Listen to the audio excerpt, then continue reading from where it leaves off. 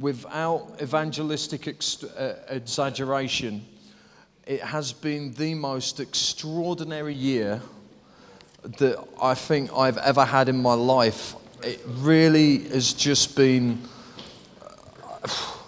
It's been difficult to kind of even. I, I've realised that actually, you know, they say that you need to you need to journal. I've realised that I'm actually forgetting stuff that the Lord has done because the Lord has done so much that it's starting to mould into one. And, um, and it, it, it has just been absolutely bananas, really, what, what the Lord has been doing. I mean, just some of the things that have happened this year. Um, I was praying for a meeting I was going to be doing in, um, in Uxbridge, uh, sorry, in Harrow, and I was preparing to preach at the church in Harrow.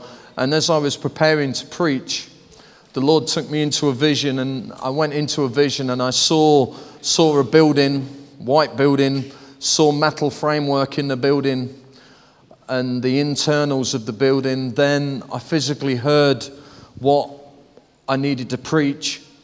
And then that evening, I arrived at the building, walked into the room, and the building I'd been in the vision earlier in the afternoon was the same building and I walked in, and the same people I'd seen in the vision were in the building.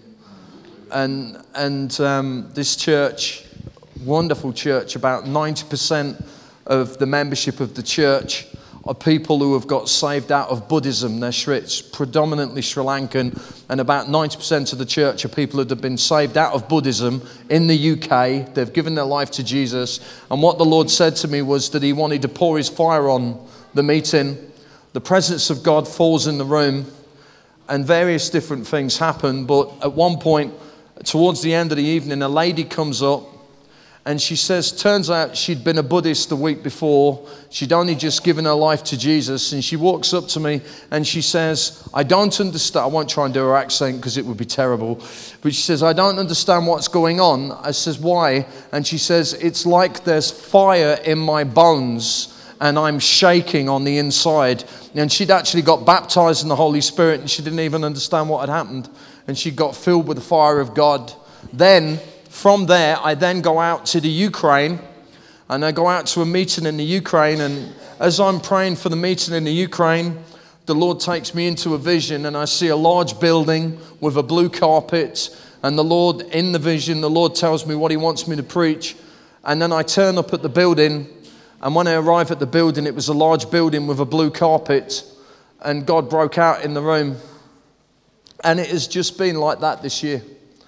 I stood with a young lady, put my hand on her shoulder, and um, I said to her, she was about 19 years old, an Asian girl, put my hand on her shoulder, and I said to her, I see you in a football pitch, and I see you surrounded by young people and that God's given you massive influence amongst young people. And I'm looking at her thinking, Asian girl football pitch doesn't make sense. Just share what you see. And I shared what I saw. And then afterwards, um, I went up to when the meeting finished. I said, So, what's the deal with the football pitch? I'm thinking she's a singer. And she says, I'm a freestyle footballer. And she got 160,000 followers on Instagram. I've just come back from Nigeria in Abuja! and uh, I know I've arrived in, as, as I'm about as African as I can get now because now I'm being called uncle. Now, now, what you need to understand is this is a very confusing thing for me because when I'm in when I'm in Nigeria, I get told, "Oh, this is Uncle so and so, this is Sister such and such." I say, "Yeah, Auntie, thank you." And he's like, "Are you actually really an auntie, or are you not an auntie?" And it's just impossible to tell who's related to who. And then they buy me a kaftan, and I'm in a kaftan, and it's like I'm eating what is it? Um, what's that strange orange rice called? There, there you go. And, and it's just like, oh Lord Jesus, what's going on?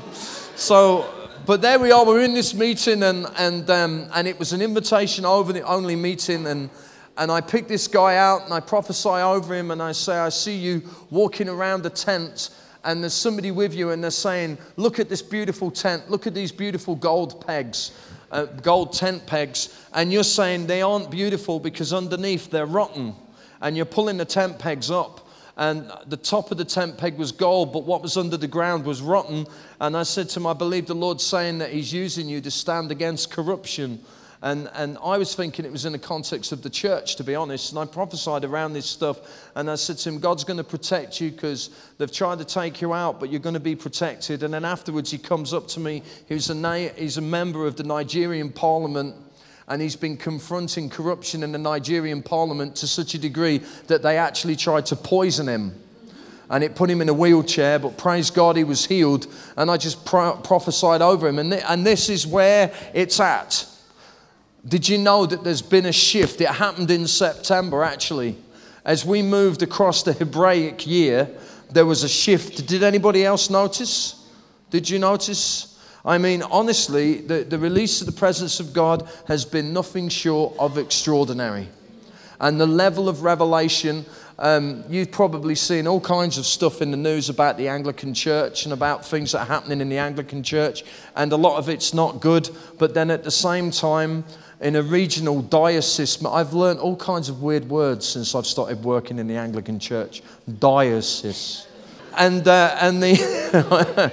and um, the, uh, they, had the gathering of the, of, of, the ministers at this diocese meet, regional diocese meeting, and it's been that bad historically that the vicar that I work with, he always books himself on a mission trip that week because it's been so depressing going to the meetings. Well, the last meeting that they had, when the priests were coming up to take communion, the bishops were standing next to the priests and they were holding the priests. And the reason why is because when the priests were coming forward to take communion, the Spirit of God was falling on them and they couldn't stand up.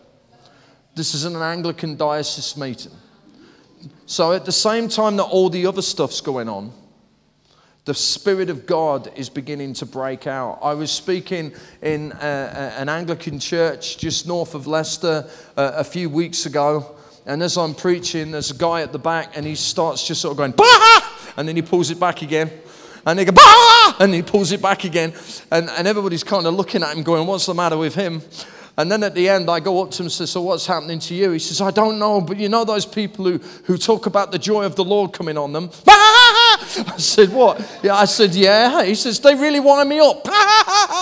he keeps bursting and manifesting the Spirit of God, and God just got him.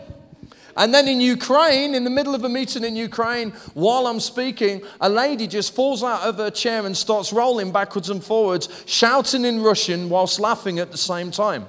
So, through the translator, the translator tells me that what this lady's shouting is, I don't laugh in church. I don't laugh in church. I don't laugh in church. And she was hysterical, just rolling backwards and forwards on the floor, going, I don't laugh in church. And then the pastor leans over to me and says to me, You see that lady? I said, Yes. Says, she is the most miserable person in our church. And God just broke out in her life. God just broke out in her life. And there's stuff that's happening. The presence of God has begun to break out, and we need to recognize that something new has begun in our nation. Really, really, really, really. Something new. It's not, I mean, it's almost like I'm already in the second half of the message and I shouldn't be. But I, am just excited. Are you excited? I'm excited. I mean, I know there's other stuff, but there's good stuff going on as well. There's good stuff. I want you to turn to the most encouraging psalm in the Bible. Turn, that is obviously sarcasm. Turn, turn to Psalm 6. We're going to start here because there's something I want to get to in this psalm, and then we're going to deal with some stuff. And then when we get into 2018, we're going to open some stuff. So we're going to close some stuff, we're going to open some stuff. Are you all all right? How are you leaving? Are you leaving? Are you like leaving 2017 like this? or are you like, ah! which one are you? Or are you just already dead? It's just, just look at the person next to you, see if they look happy, if they're not happy, slap them.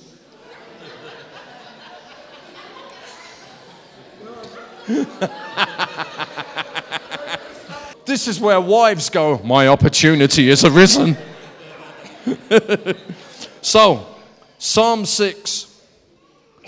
Lord, do not rebuke me in your anger or discipline me in your wrath. Have mer- this is not one to read if you're not feeling happy. Have mercy on me, O Lord, for I am faint. Heal me, Lord, for my bones are in agony. My soul is in deep anguish. How long, O Lord? How long? How many of you felt like that at some point? How long, O Lord? How long? Turn, Lord, deliver me. Save me because of your unfailing love. Among the dead, no one proclaims your name. Who praises you from the grave? I'm worn out from my groaning. All night long I flood my bed with weeping and drench my couch with tears. My eyes grow deep, grow weak with sorrow. They fail because of my foes. Another translation says, My eye grows dim because of sorrow. My eye grows dim because of sorrow, faint because of my foes. So if you look at the, um, if you look at the Hebrew word there that's used for eye, it's the word ayin. And it look the, the, the Hebrew letter A, and it looks a little bit like, like a letter Y. And you know the Hebrew alphabet it has a numeric significance, but each letter also has a pictorial significance. Did you know that? That Hebrew letters, they're not just letters, they're also pictures. So it's important sometimes that when you're looking at the year, for example, if you look at the pictorial meaning of the Hebrew year that we've just entered into, did you know that the pictorial meaning is one of a door? So it's important you know that. Do you know that right now we're in the season of the eye? Because the word ayin is the eye, and we're moving from the season of the eye into the season of the mouth. It's important to know this stuff. I mean, I, am I'm sounding really wise, but I've learned this from somebody else. So just so you know. But this stuff about ayin is really important. If you actually, if you use a Strong's Concordance, and if you search the word ayin, if you actually search the, the Strong's number and you pull up all of the accounts where that word is used, uh, a percentage of the time it's translated as eye or vision or sight. And then another, set, another percentage of it, it's translated as a well or a wellspring. Okay? So I don't think, when David said, My eye has grown dim, I don't think David was saying that his physical eyes had grown dim. Do you think that? I don't think that's what was happening.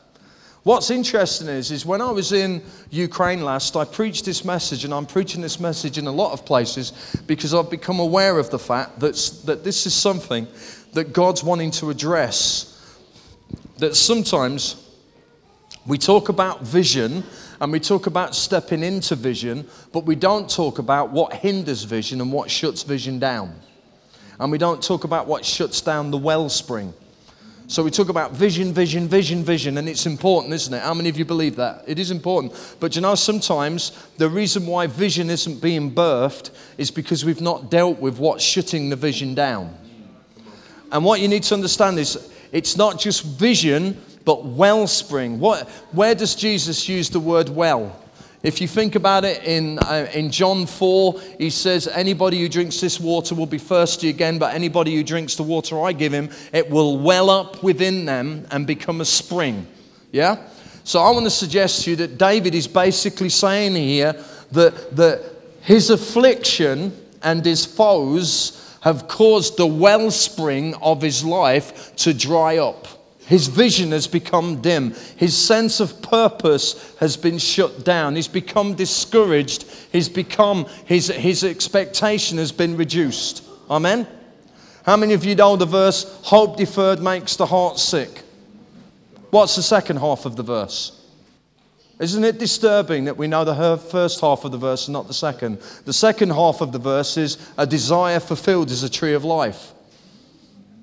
But what I want you to see is, is that as a people, sometimes we can be rooted in focusing on the negative rather than focusing on the positive. Oh, hope deferred makes the heart sick. And everybody knows that. Hot yeah, but the desire fulfilled is the tree of life. Do you want to live in the heart sick or the tree of life? 10, 10, John 10 10 says, The thief comes to steal, kill, and destroy. That's a warning, not a promise. It's not something you're meant to be in faith for. I'm in faith to be killed, destroyed, and stolen from. But it's a warning, and then God gives the promise. But I've come that you may have life and life in all its fullness. And do you know that word life? Do you know that the word life, the Strong's number for life, is 2222? Isaiah 22 22 says, What he opens, no one can close, and what he closes, no one can open. It's fascinating that even the Strong's numbers prophesying. So I'm speaking about vision become dry, vision being dried up. Get to the end of the meeting after we've prayed for people. Young lady walks up to the front of the meeting. She's crying. This is in Ukraine. And I look at her and say, What's the matter with you? And she says, When you prayed for God to restore vision, she stood there with a pair of glasses, really thick glasses. She says, I couldn't see through my glasses anymore. And I realized God had healed, my eyes. I didn't pray for her eyes to be healed. But she didn't need the glasses anymore because God healed her eyes. That's cool, isn't it? Amen. So, this thing with this vision, drying up of vision, the, the, the, picture, the picture of it is, I could, if I could draw it for you, it looks like a, a bit like a letter Y, and it comes up like this, and it's got two eyes on the top of it. Okay? And what, it's, what the pictorial meaning, uh, meaning of it is this, is that you have a good eye and you have a wicked eye, Meaning, from this perspective, how many of you have ever heard the statement, is the, cup, is the cup half full or the cup half empty? And it's the mentality of always seeing the cup as half empty. That we can look at life, and this is the eye that David is looking at his life through right now. He's looking at his eye through, he's seen all of his problems, he's seen all of his afflictions.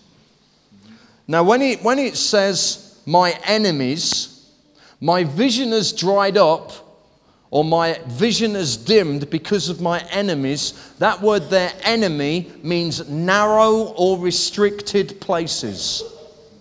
My vision has dried up because of narrow or restricted places. When it says that because of the affliction of my enemies, it's the oppression of being in a narrow place. How many of you felt like you've been in a narrow place right over this year? Come on, help me. And what can happen, what can happen is your trauma becomes your prophecy. Did you hear what I just said?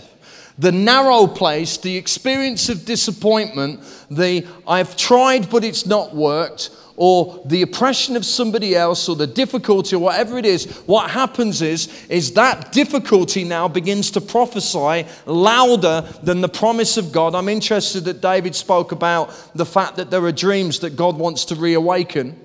Because what can happen is, is you get a dream and you get a vision and you begin to go after it and it doesn't come to pass and you become squeezed and restricted to the point that eventually you just get to the place you say, oh, I just give up.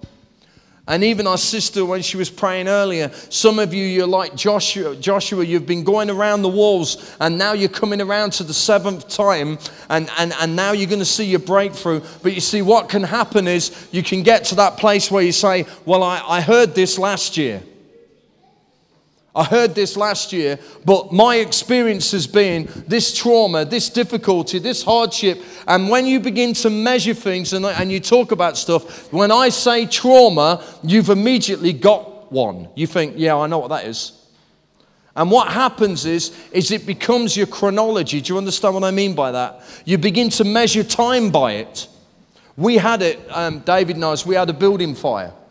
We had our, our, our, church building burnt down, and we got into the habit of talking about time, and we'd say before the fire or after the fire. And it was no longer the prophecy or the word of the Lord that we were measuring our journey by, but it was the work of the enemy that we were measuring our journey by. It was the disappointment. And what God wants to do as you come out of 2017 into 2018 is He wants you to shut the door to yesterday's trauma. Did you hear what I said? He wants you to shut down the stuff that has caused your vision to be dried up, the stuff that's caused your hope to be deferred. He wants you to shut it and he wants you to begin to move into this next season with a different mindset. Say amen. That you're not going to go into this next season with, well, we tried this, oh, but it didn't work last time. Well, you're not meant to measure it on your experience. You're meant to measure it on the basis of the promise of God. But what the enemy wants to do is he wants to send a storm that comes against you that causes you to allow the storm to speak louder than the promise. So now you begin to have more faith that the devil can stop you than God's word can bring you through. Can I get an amen? So you go out, you do evangelism, and you go, oh, I tried evangelism, I got rejected, it didn't work. Or you go and you pray for the sick and you lay hands on the sick, they don't get healed. And what begins to happen is rather than building your faith on what God has promised, you begin to allow the apparent lack of fruit to begin to out prophesy what God has said. Amen. And we need to shift. So I want you to see that in Psalm 6, David's basically saying, My vision's dried up because of the oppression of my enemies. You hear what I've just said? Listen to what it's preceded by. Lord, do not rebuke me in your anger. What in Psalm 6, what's David's perception of God? Do you think he thinks God's up there cheering him on or he thinks he's a scumbag? I think he probably thinks that, doesn't he? He's, he thinks God's up in heaven, and really he's, he's just he's got like a scorecard, and he's looking at him. And every time David looks up at God, God holds up a scorecard, and the scorecard goes for everything David's doing. That's the perception that David has. Would you agree with that? It looks like it, doesn't it? Turn to Psalm 23. Are you all with me? Some of you are going to find that there's going to be a release of your wellspring tonight. Because the oppression of the last season is going to be shut down and your spring is going to be reawakened. The deferred hope. That word there, enemies, is exactly the same word that he uses in Psalm 6. In Psalm 6, he says, My life spring, my vision has dried up because of my enemies. Psalm 23 says, You prepare a table before me in the presence of my enemies. Psalm 6, opposition is a place of death for him. Psalm 23, opposition is a banqueting table for him. Why? Beginning of Psalm 6, Lord, do not rebuke me. Beginning of Psalm 23, the Lord is my shepherd, I shall not want. He's had a paradigm shift. He's had a paradigm shift. It's not his life that's changed. How many of you know you're going to have difficulties? You are. You are. I think it, um, Ed Cole said this. He was a, a, a, minister in the United States. He said this You're either in a crisis, just coming out of a crisis, or on your way to a crisis. That's encouraging, isn't it? but the point is, is this what happens is is we can be tempted to develop a theology that isn't realistic, that says the time that I'm succeeding is when there's an absence of crisis. But the reality of it is there's going to be resistance. Because if there's no resistance, you can't grow. Did you hear what I said? It's not the presence or absence of resistance, it's the, how you behave in the midst of the resistance and how you interact with it. So, Psalm 6, the resistance is killing me, the narrow places is killing me. Psalm 23, the narrow places are a banqueting table where he has a feast.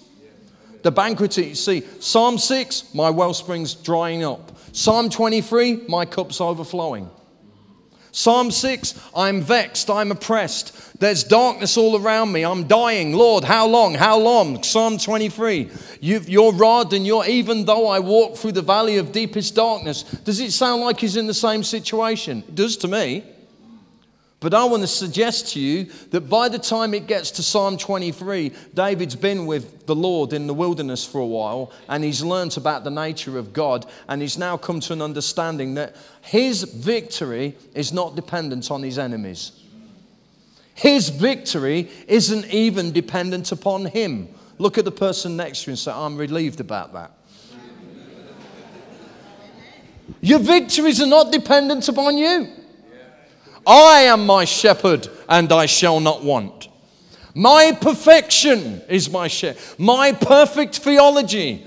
My 24 hour prayer life is my share. No, none of that. Not that any of that's not important, but the point is, is this the reason why David is in a place of victory in Psalm 23 is because he recognizes that the Lord is his shepherd. And even though he's going through difficulty, the Lord is the one that's leading him.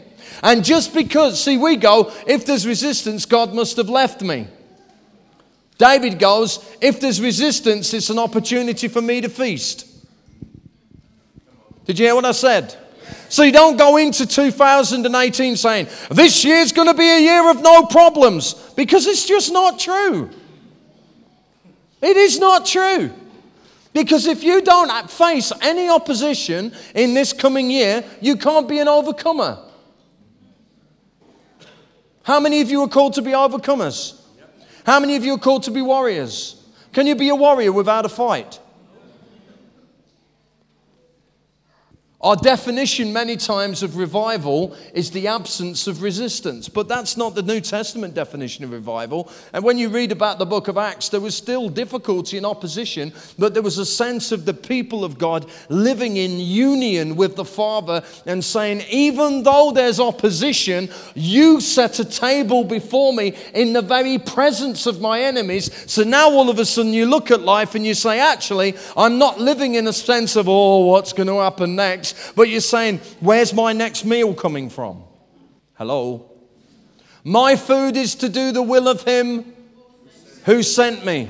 The reason why the Son of God was revealed was to hide the works of the evil one. So you need some works of the evil one to destroy, then, don't you, if you're going to have a meal? Say hallelujah. So when you're facing impossibilities, it's not a negative, it's a positive. Hello? So, where that's drained your life in the last season, it's not going to drain your life anymore. I want you to stand up because we are going to close a door. And the door that we're going to close is the door that says, My hope is deferred. Amen? So I want you to think right now is there a point of crisis has there been a storm? Has there been a difficulty or a combination of them that has caused you to actually begin to look and say, that's how I measure time by? Is there something unresolved? Is there something that's sucking the life out of you that's caused your vision to dry up?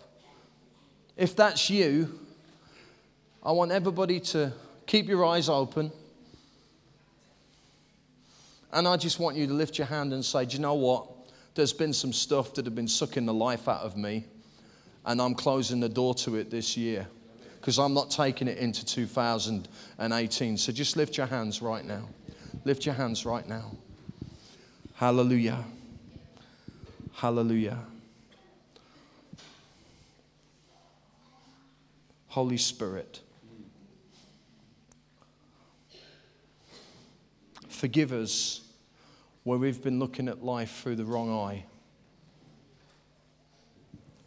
Forgive us where we've allowed oppression and difficulty and narrow places to cause us to retreat from promise. And right now, Father, we repent in Jesus' name. Amen. And as we step out of this year, we declare today that we will no longer look at our circumstances through that eye. We will not allow trauma to be our prophecy. We will not allow past failures to be our prophecy. We will not allow our, our apparent disappointments to cut us off from our destiny.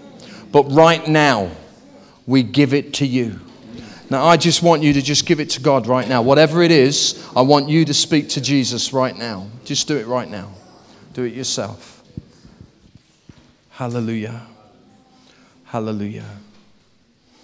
Hallelujah. Now put your hand on your heart. Father, I pray that where hope has been deferred, I declare a tree of life comes right now.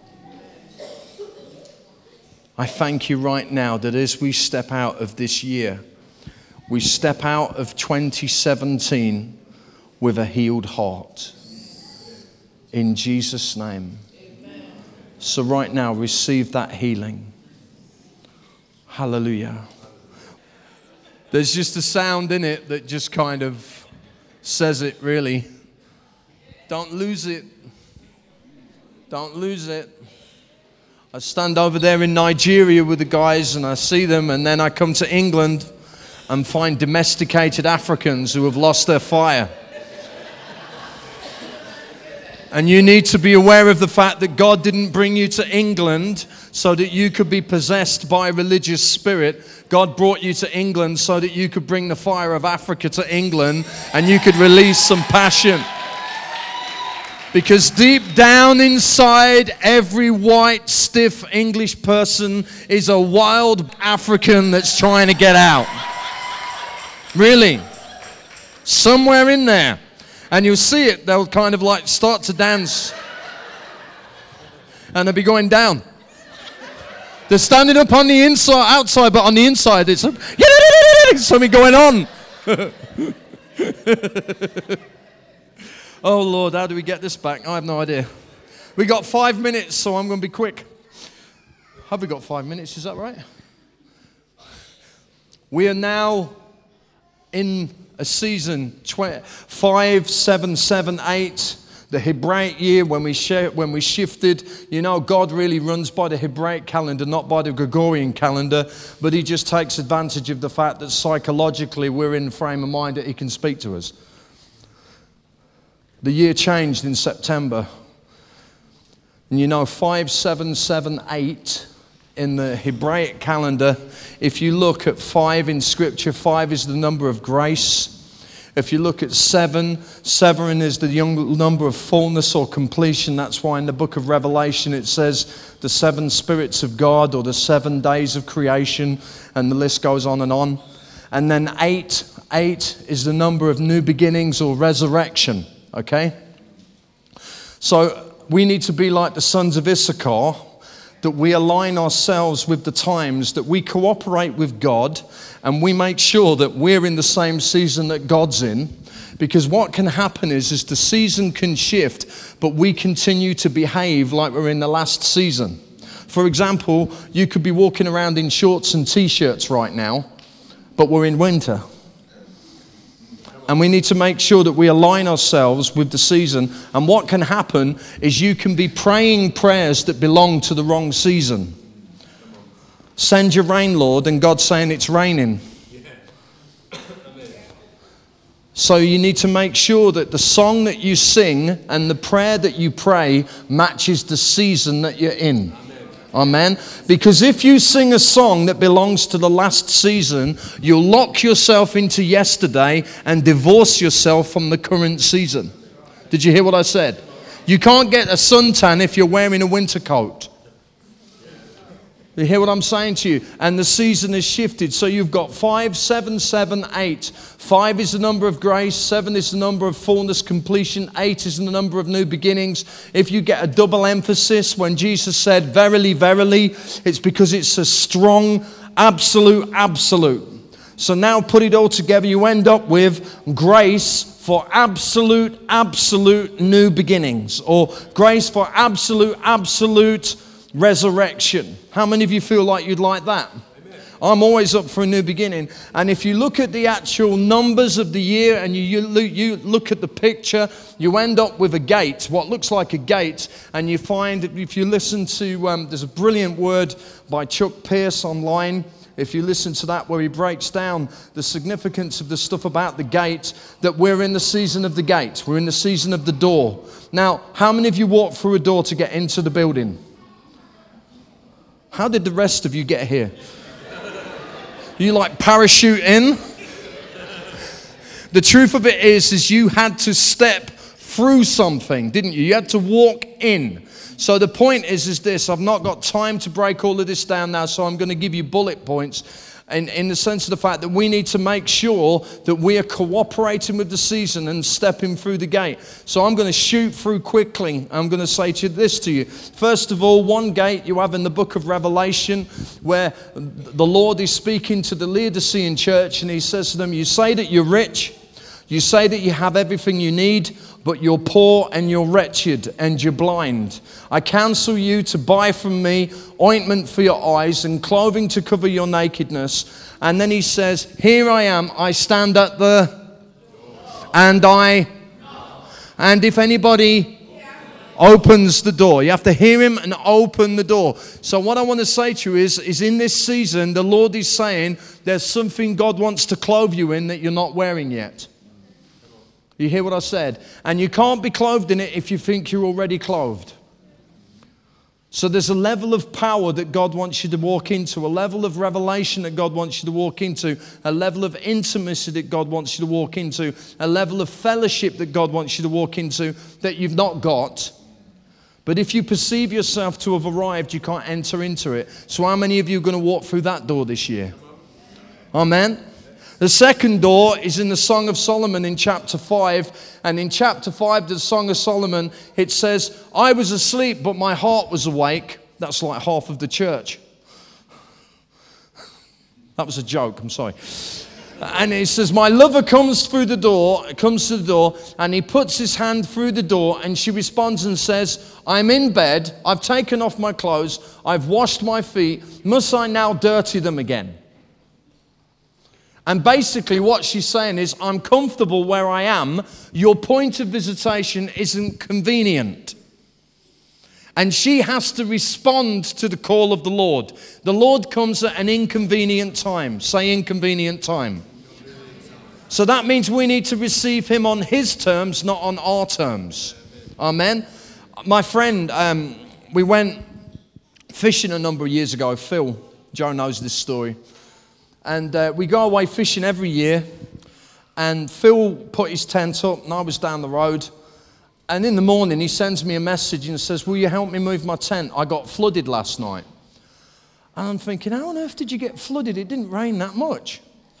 And I went down, and if sure enough, he was flooded. And what had happened is he'd pitched his tent on a molehill. And in the night, it had rained, and the rain had come from the field. It had gone down the hole of the molehill, through the molehill, and boiled up into his tent and flooded his tent. It was hilarious because it didn't happen to me. So he'd got into a place that he got so discouraged that he was a worship team director. He'd resigned from that job. He'd gone into working on, um, in recruitment for the NHS. And he basically just burnt out. And uh, about a couple of months ago, the Lord said to me, Do you remember the molehill? I says, Yeah, Lord, I remember the molehill. He says, I want you to phone Phil and I want you to say to him, I'm about to break out in your life like the molehill broke out in your tent. So I go, and this is literally what happened. I go to my phone, and as I pull my phone out my pocket, it starts to ring, and lo and behold, it's Phil. It's the middle of the day, and I open my phone, and Phil is in the recruitment office at work. He's in the office. And I take the phone and say, Oh, hello, Phil. Do you remember the molehill? And the next thing I hear is, and in the middle of the NHS recruitment office, the Spirit of God fell on him in the middle of the recruitment office in front of all of the other staff, and he's rolling backwards and forwards as the presence of God landed on him. How many of you feel like that was a convenient time for the Lord? Not really. And he literally, he literally was transformed. And then we went to a church, Capstone Church over in London, and I was preaching there, and the presence of God fell on him at about nine o'clock. Half past two in the morning, he was still as drunk as a skunk. He's literally, he's in the hotel room, he's in the bed next to me, and I finally turned around to him and said, Listen, buddy, I'm trying to get sleep. Can you get drunk quietly? And he's never been the same since. And the Spirit of God broke out in his life. My friend Sareka, who's the head of Foursquare Ministries in the, in the UK, Joe and I went to go and. it's so funny. We went to go and see them. We went and sat in the lounge and we're talking. And we said, It really feels like the Spirit of God is just visiting at the moment. Then we hear laughing from the kitchen. His wife has been taken out in the kitchen. The Spirit of God's fell on him in the kitchen. We now fall out in the lounge, and all four of us are drunk in the Spirit. I mean, that makes church more interesting. Some of you really don't like, oh, I don't like the sound of that. Well, neither did the woman in the bed. I'm comfortable where I am, thank you. There's more, but the last one I want to say to you is that the other door is in the book of Revelation where the Lord says, John said, I saw a door standing open, and the Lord said, Come up here, and I'll show you what will take place. And there was an invitation from heaven to come up to a higher place to begin to see things at a different level. And from September, the level of prophetic revelation has totally changed. We sat in a prophetic appointment with a young lady, and she's sitting there and she says, I'm really praying for my sister to give her life to Jesus, and I wanted to get saved. And while she's sitting there, the Lord says to me, Her sister's name's Jane. I want you to tell her that I've heard her prayer. So I look at her and I say, um, Does the name Jane mean anything to you? And she goes, Well, that's the name of my sister. And then she bursts into tears when I tell her that God's heard her prayer. We're sitting in a meeting and a lady says, I don't like, I don't feel like I can dance.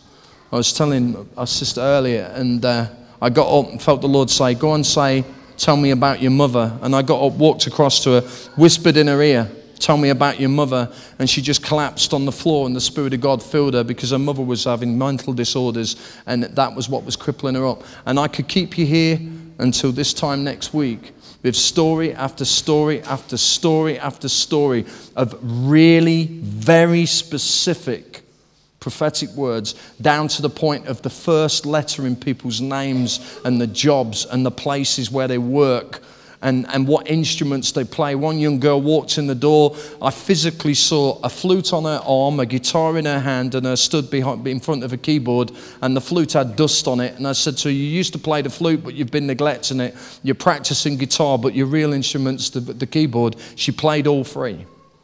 Oh, and I forgot that I saw a paintbrush in her hand as well, and she was a painter. And God is just unlocking. I'm not telling you this so you can go ooh and ah. I'm telling you this because I'm saying to you there is an invitation for you in 2018 for you to walk into a level of revelation, a level of visitation, and a level of intimacy. Are you up for that? Amen. The last one is authority. Because after the Lord said, I'll come in and sup with them, He said, You will sit on a throne and you will govern and you will rule. How many of you feel like you're tired of being governed by circumstances and difficulties? It's time for you to step into your season of governance. Amen. Amen. Amen. Hallelujah. Sweetheart, do you want to share what you've. Yeah. John wants to share. Before, just as she comes, just listen to this. As I was driving from Leicester today, I asked the Lord specifically for a text for you as a church. And the text he gave me was Jeremiah 18. And Jeremiah 18 is the time that the Lord speaks to Jeremiah and says to Jeremiah, Go to the potter's house and you will receive the word of the Lord. And Jeremiah goes to the potter's house and he sees the pot and the pot is a little bit marred and not perfect. And what the potter does is he collapses the pot and he reforms the pot. And then the Lord says to Jeremiah, Can I not do with you, Israel, what the potter does with the pot? And I believe the, the word over you as a people in this next year is one of reformation. I believe he's saying that he's going to rebuild the pot. It's not that the old pot was bad, but it isn't sufficient for what's next. And in this next season, you're going to find that God is going to reshape you. He's going to create you into something new because He wants to pour out something fresh. How many of you want that? But you know what? There had to be a pulling aside There had to be a pulling aside where Jeremiah said, I'm going to pull aside to hear the word of the Lord. And there's a pulling aside that the Lord's calling for you. Amen? Amen. Are you doing okay? It's getting late. We're just going to let Joe share what the Lord's put in our heart. We'll pray and we'll finish. Amen? Amen. You're all awesome. You are awesome. Because I, I, tell you, I tell you, I can't think of anywhere better to be than with the people of God, especially when, most, when some of them are Nigerian.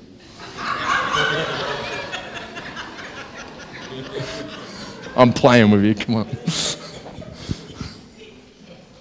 I just, um, just really, really quickly, because I'm very conscious of time, but when I was praying about this and um, coming here today, um, and I'm very conscious of the fact that this year is the year of open doors. It's the year of the door, okay? And there was two things that came up, one of which I won't share this evening. I'll possibly email to David. Um, but the second one is I saw many of you stood in front of beautiful doors. These doors were very ornate. They were, you know, you've seen on these really old houses where they're handcrafted doors. They're beautiful, beautiful. And you stood and you're admiring these doors. And God's saying to you, I've opened the door. And you stood there with a key in your hand and you've tried it in the door and you've tried it and you're saying, but it's not opening, God. It's not opening. And God's saying to you, you've got the wrong key. You've got the wrong key. The door isn't wrong. The opportunity isn't wrong. What you're facing and what you're trying to go into isn't wrong. The key is wrong. So go back to God and ask Him for the key to your next stage of your journey. Yeah? Go back to God and seek Him. Say, I lay my life before you again, Lord. I know where you're taking me. I know that that's the right way. But what I'm trying, the way I'm trying to do it, the way I'm trying to access it is wrong. If there's things in me I need to deal with, deal with me. If there's things that I need to let go of, let go. Go back to God, find out what the key is. It could be a scripture. It could be you've got to forgive somebody.